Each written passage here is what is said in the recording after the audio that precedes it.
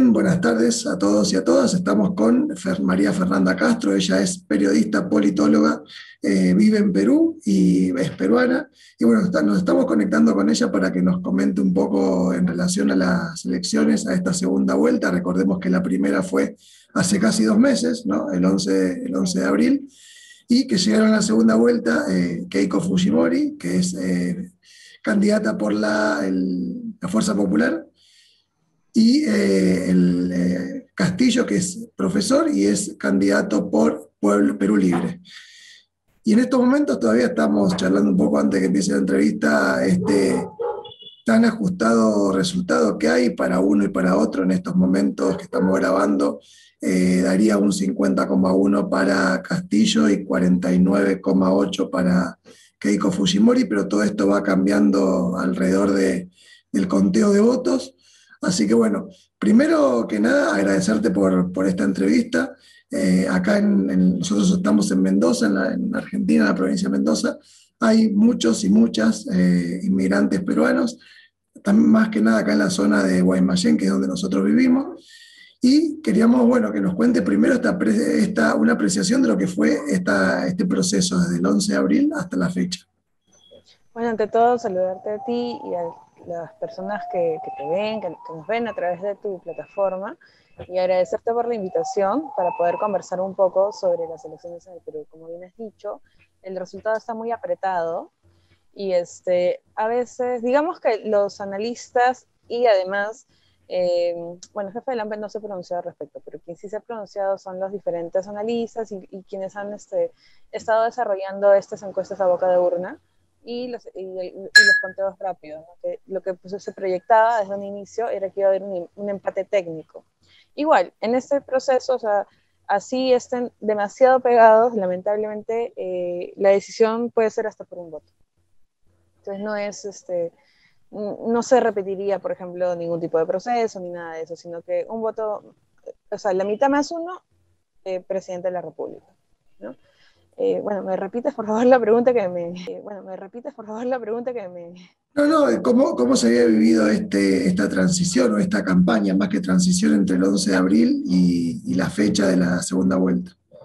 Bueno, eh, entre el 11 de abril y esta fecha ha sido bastante, digamos, este, eh, tenso, ¿no? Tenso entre ambos aspectos, es decir, tenemos por un lado a los, bueno, el voto fuerte de Keiko Fujimori, tiene, ella tiene un voto sólido desde hace años, igual nunca pasó de la segunda, o sea, nunca ha llegado a tener un mandato, pero bueno, ha sido, ha sido de segundas vueltas, eso sí, ¿no?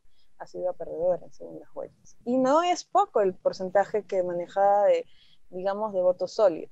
Entonces, este, este, este sector siempre ha tenido una postura bastante radical en relación a su, a su afinidad con de Fujimori y este, fue jalando de alguna manera cierto, a ciertos votantes que eran de centro, a ciertos votantes que eran de otras tiendas políticas, ¿no? que en la primera vuelta votaron por López Aliada o que votaron este, de repente por algún candidato que era de derecha. ¿no?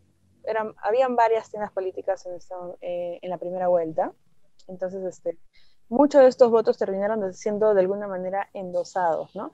Incluso hubo apoyo de parte de partidos como el APRA y partidos como incluso el este, el de Acuña, se me el nombre, AP, Alianza para el Progreso, ellos, eh, conforme se iba acercando la fecha, le fueron dando, digamos, este, la confianza a Keiko Fujimori. Y bueno, no sé exactamente cómo es la disciplina dentro de su partido, pero entiendo de que sí, eh, una, una buena cantidad de los votos de los que son militantes de esos partidos estaría, estaría siendo parte de los son de votos que ahorita está teniendo Keiko Fujimori. Por otro lado, este, en el caso de Castillo, eh, Pedro Castillo de Perú Libre, eh, fue una sorpresa, fue una sorpresa. Yo personalmente también voté eh, por otro candidato, no por él, en la primera vuelta, y no teníamos tanta información como la que nos, la que nos dio, digamos, los resultados de la primera vuelta con su llegada a la segunda vuelta. Es decir, había un Perú que no estábamos mirando, que es lo que han repetido todos los analistas, y lamentablemente le hago eco, y tienen razón.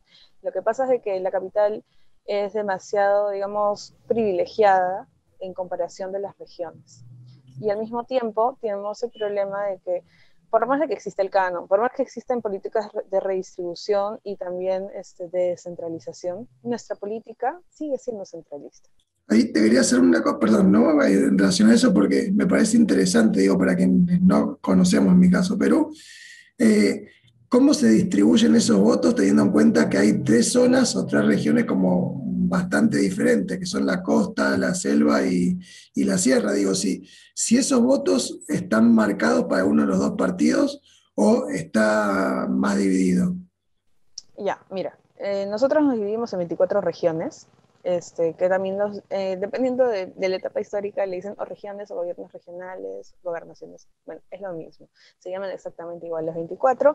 Tenemos Lima, Lima Metropolitana, dentro de Lima está Callao, que es una provincia constitucional, que es el puerto principal de nuestro país, yo soy Chalaca, y este, Chalaco es el gentilicio del que vivió o nació o creció en Callao, este, es bien regionalista. Pero ya, de ahí de eso tenemos este, otras provincias que también, como bien dice, tenemos las, que son costeñas, las de la zona serrana y de la zona selvática, ¿no? Eh, sin embargo, la redistribución de los votos, y también eso se puede ver cuando hacemos análisis en relación a la votación por parlamento, en el caso del parlamento eh, se nota más, este, lo que tienes es una redistribución, digamos, de la, la cifra repartida tiene que ver en ese caso este, con la densidad demográfica. ¿Por qué? Porque hay una cifra en relación a la representatividad. Por eso Lima, de alguna manera, es casi un tercio de lo que, de lo que vendría a ser eh, la votación que necesita un candidato para poder ser presidente de la República. Mm, Lima tiene demasiada este, población por metro cuadrado. Tenemos, este, de hecho, antes que hubiera el tema, digamos, de la migración de extranjeros hacia nuestro país, que es lo que ha pasado a nivel latinoamericano con el tema de Venezuela, eh, que sí es un problema a nivel continental, porque no somos países de primer mundo que podemos abastecer con todas las comunidades a quien pide ayuda. Este, lo que tenemos es de que siempre hemos tenido una historia de migración desde, las, desde los diferentes este, departamentos y provincias externos a Lima hacia Lima. Entonces, por eso Lima se, sobrepoblaba. Incluso tenemos ese problema o sea, por varias razones. Lo hemos tenido en los 80, la razón era que había terrorismo y mucha gente huyendo de su provincia se iba hacia, se venía a Lima. También tenemos problemas de este nivel educativo. Se supone, o sea, son muy poquitas, digamos, las mejores universidades de nuestro país. Casi todas están en Lima. También están en las, en las, principales ciudades, que es, eh, por ejemplo, en Arequipa, en diferentes esas ciudades tienen muy buenas universidades, pero incluso hay esta creencia, eh, digamos, este, cultural de decir que en Lima están las mejores y por eso tenemos mucha migración de eh, provincia hacia Lima. Pocos regresan hacia su provincia. Este, no sé si ahí te dejamos sí, sí, sí, el centralismo. Sí, y en relación al conteo de votos en este momento y lo que queda por contar, digo, ¿qué, ¿qué porcentaje hay? El señor Castillo, o sea, al 100% de actas contabilizadas, ha ganado Napurímac, Puno y Tacna. Eh, y ha ganado no por poco, ha ganado por, digamos, el mínimo ahí ha sido 72% y el máximo obtenido 89%, es bastante. Mientras tanto, ha ganado, se, encuentra, digamos, casi, digamos, con visos de ganador en 13, en 13 departamentos más, que son Amazonas, Anca, Chariquipa, Ayacucho, Cajamarca, Cusco, Huancavelica, Huánuco, Junín, Madre de Dios, Moquegua, Pasco y San Martín. Lo cual es bastante sorpresivo, porque durante la elección pasada eh, las presidenciales anteriores, donde también participó Keiko Fujimori, ella le dio bastante fuerza a la selva. Lo digo por el departamento de San Martín y Madre de Dios. Ahorita, este, Loreto, que es, digamos, la zona más grande de la selva geográficamente, no sé si poblacionalmente necesariamente lo sea, eh, todavía están muy pegados, están muy cerca, con 49 y 50%. Pero todavía este, las actas de estas zonas no se han cerrado. Entonces, este, estamos esperando porque, como bien avisó el director de la OMP, el jefe de la OMP, Piero Corbeto, eh, lo primero que se cuentan son las mesas que están más cercas a los, creo que son 104 o 160 más o menos, bueno, menos de 200, pero son como locales de la, de la oficina de la OMP, este, que, que, es este, la Oficina Nacional de Procesos Electorales, eh, que están cercanos, digamos, a ellos, ¿no? O sea, es decir, aquellas zonas más alejadas, nuestra geografía es bien complicada, todavía no han sido contadas. Y en este caso, como tenemos un candidato que tiene una fuerte presencia en las zonas rurales de nuestro país, eh, sí el voto rural es definitivo, ¿no? además porque son muy pegados. Entonces, vale esperar, por lo tanto, el señor Castillo hace poco acaba de anunciar que iba a posponer su conferencia de prensa. Y creo que lo he hecho justamente por eso, porque a pesar que estamos en el 94,8% de la contabilidad de las actas, este, ese, ese porcentaje restante todavía es importante para definir quién va a ser el presidente. Y no hacer, este, digamos, eh, falsas celebraciones, como ya más o menos ha pasado en la noche pasada. Hubieron algunos conflictos en, en Centro de Lima. Sí, estuve, estuvimos viendo y siguiéndolo anoche un poco por, por Telesur y veíamos algunas de esas imágenes, también escuchamos a, a los analistas. ¿Y qué, perspectivas tenés vos o crees que, o qué, es lo que, se puede dar en caso de que gane uno u otro? Digo, teniendo en cuenta todos los antecedentes de estos últimos años en Perú, de la cantidad de presidentes que se han cambiado, el papel del Congreso en relación al poder Ejecutivo? Bueno, ante todo, este, sobre Keiko Fujimori, eh, ella, como bien dice, no, no, ha gobernado nunca, pero fue primera dama durante el gobierno de su padre, lo cual no es poco, y eso porque cierta participación ha tenido en el gobierno de su padre. Y, este, y además, eh, cuando su bancada ha sido mayoritaria, ha demostrado determinados comportamientos, ¿no? como un control, una cooptación del Congreso, eh, que eso pasó con el Congreso anterior, lo cual nos ha regalado cerca de cuatro presidentes, tres presidentes en tiempo récord, ¿no? como ustedes también seguro vieron el año pasado, en noviembre, donde, bueno, se dieron marchas, fue sumamente terrible, interesante para un científico social, pero terrible para, para el país. Entonces, este, teniendo en cuenta ese antecedente, no, o sea, por más de que se pida una disculpa, hay una práctica que la respalda, ¿no? Es decir, eh, incluso los poderes, eh, el Poder Judicial, la Fiscalía y los jueces califican a las, al Fujimorismo como una asociación de crimen organizado. Y este, si vemos a los, a, los candidatos que le han acompañado, tanto en, el Congreso, en la fórmula presidencial, y también este, en su, digamos, en su equipo de técnicos, todos tienen antecedentes. O sea, además de ella, probablemente, si es que no sale ganadora, lo más probable es que siga su proceso y ahorita la fiscalía le ha pedido 30 años. O sea, si ella no sale ganadora, o se va del país, sinceramente, o probablemente tenga que pasar 30 años en prisión. Eh, bueno, en un eventual gobierno de ella, me parece que hay peligro de la división de poderes, eh, por un lado, por el tipo de, congreso que tenemos ahora, donde hay presencia de Fuerza Popular, que es su partido, también hay una capacidad de hacer alianzas con otros partidos que son afines al pensamiento de Fuerza Popular, es decir, son de derecha, y eso dejaría en cierta minoría, digamos, a Perú Libre, a Juntos por el Perú. Creo que el Partido Morado sí llegó a tener algunas curules en los asientos en el Congreso, que esos son como de centro, pero bueno, no son fujimoristas y difícilmente comulgan con ellos. Entonces, sí podría haber un tema del control del Congreso desde ellas, un Congreso afín, tan afín que no cuestionaría las decisiones presidenciales. Y eso también traería problemas para el Poder Judicial donde, por ejemplo, nuestro fiscal estrella, que es el señor José Domingo Pérez, que es quien se encarga del tema este, de los cuellos blancos, los lavados de activos, ¿no? Este, se vería en cierto peligro porque él está detrás, de, digamos, de esta condena de 30 años contra Keiko Fujimori. Entonces, este, es muy probable que hayan problemas políticos y administrativos de ese tema, si es que ella sale electa. Igual los luchadores de los derechos humanos podrían verse en cierta medida perjudicados porque bueno, como tú comprenderás, las organizaciones de derechos humanos en mi país han sido las que se dedicaron al aspecto judicial de encerrar a su padre. Entonces, no dudo que pueda haber una represalia. Eso, de eso no hay una prueba, pero es una posibilidad por las prácticas que han habido en contra de los luchadores de derechos humanos anteriormente. Cuando ellos, por ejemplo, este, lo digo porque ya es un tema personal que lo conozco porque alguna vez he trabajado con ellos directamente este, por ejemplo, quienes se encargaban de los casos del Grupo Colina, que era el grupo paramilitar que tenía el gobierno de Alberto Fujimori en los 90, eh, muchas veces, estos señores no estaban, se supone, cerca, estaban prófugos, los abogados de derechos humanos han recibido hasta coronas fúnebres en su casa. Y algunos se les han metido, o sea, personas que tú ves que le han revuelto su casa, se han metido en sus hogares Entonces, si esto ha pasado en gobiernos que suponemos que son democráticos, donde se supone que estas cosas no suceden, eh, no sé qué podría suceder con ellos en un contexto donde el Fujimorismo tenga tanto poder.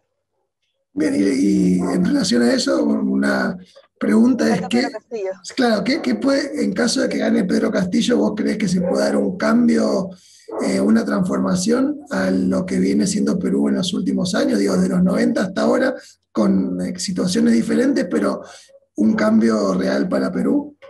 Bueno, en el caso de Pedro Castillo tenemos un presidente que este, es más que todo representativo y reivindicativo para ciertas clases sociales, es decir, este, representa eh, al, al, campesinado también, tiene una representación del magisterio, es decir, es muy importante para las luchas sociales, dentro del punto de vista simbólico, pero en el punto dentro del ejecutivo, que es lo que también nos importa en un presidente, eh, todavía hay ciertas cosas que tiene que afinar Perú Libre y lo está logrando en el, en el mediano plazo, ¿no? Es decir, eh, su equipo de técnicos, ha logrado ciertas alianzas con Juntos por el Perú, bueno, eh, con las diferentes agrupaciones que formaron Juntos por el Perú, porque Juntos por el Perú no estaba este, conformado por un partido histórico, sino que eran diferentes movimientos. Estos movimientos también se han sumado a apoyar al señor Castillo. Entonces es una cuestión de, digamos, ir a un acomodo político en el buen sentido de la palabra para poder llevar un gobierno con cierta armonía.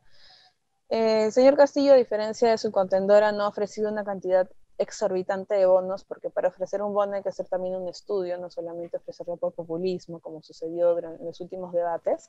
Entonces, este, hay cierto estudio al respecto de qué cosas sí se puede dar.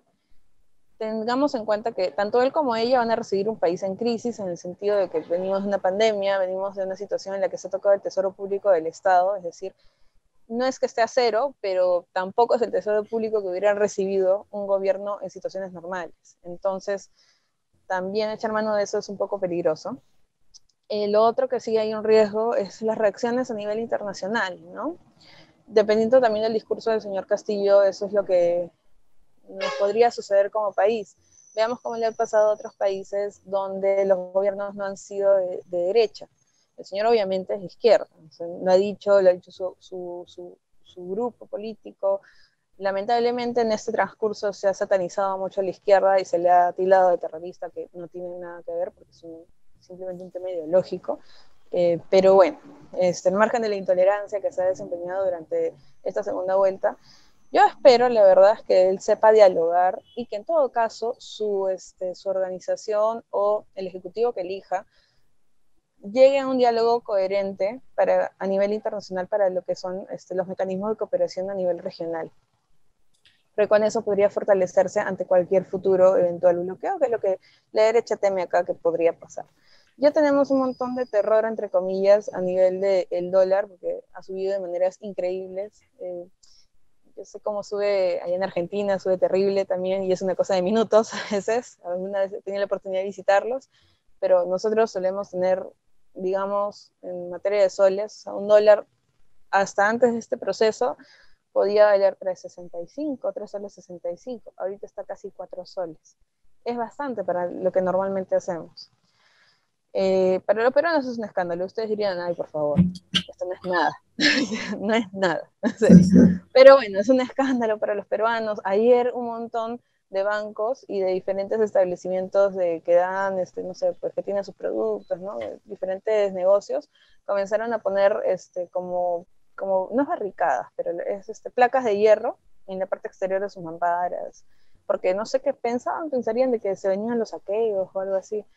Pero a mí me parece que es un poco de psicosocial y de estrategia de aterrorizar un poco a la población capitalina, porque esto se ve más que todo en la capital otro muestra más de centralismo basta para aterrorizar. Y, este, y bueno, en el caso del señor Castillo, tiene muchas cosas por hacer. Empezando por, por ejemplo, hacer grandes investigaciones, o sea, promover investigaciones desde el lado de su gobierno, por ejemplo, por las injusticias que hubieron el 14 de noviembre, donde tuvimos dos muertos, ¿no? dos jóvenes, Inti Bryan. Eso se quedó detenido con el gobierno de turno, que es un gobierno que, bueno, de alguna manera se excusa en el tema de, de que nosotros somos de transición. Se entiende, pero al mismo tiempo no se puede dejar, digamos, la justicia y los derechos humanos eh, con pausa. porque esas personas tenían familia, en fin, y muchas otras personas que resultaron heridas. Entonces, primera gran tarea que tiene ese gobierno, eventual gobierno en relación a las, este, digamos, a lo que se espera de un gobierno de izquierda también, es este, resolver el tema de derechos humanos. Es algo que lamentablemente dudo que podría pasar en un eventual gobierno de la señora Keiko Fujimori. Bueno, te agradecemos eh, porque, digo, el tiempo es corto en televisión, pero nos interesa mucho poder volver a hacer otra entrevista o por ahí comunicarnos ya mm, para la semana que viene cuando esté el resultado definitivo, eh, porque sabemos que esto es eh, minuto a minuto, como decíamos al principio. muy interesante y muy interesante también el proceso, digo, teniendo en cuenta todo lo que ha estado pasando, y lo que pasó en Chile, lo que pasó en Colombia, lo que también pasó en Bolivia con el retorno del MAS al, gobierno y que le da otra perspectiva a, nuestro continente, ¿no? Y, bueno, es interesante poder también tener la posibilidad de escucharlas, escucharlos desde, ahí mismo, desde el lugar de, origen, y quienes puedan hablar sean eh, vecinas, vecinos, en tu caso eh, periodista también, pero que habitas el Perú. Sí, muchas gracias más bien por la oportunidad para poder compartir un poco de lo que sucede aquí en el Perú. Y bueno, cuando quieras, por, por favor, avísame para volver a compartir.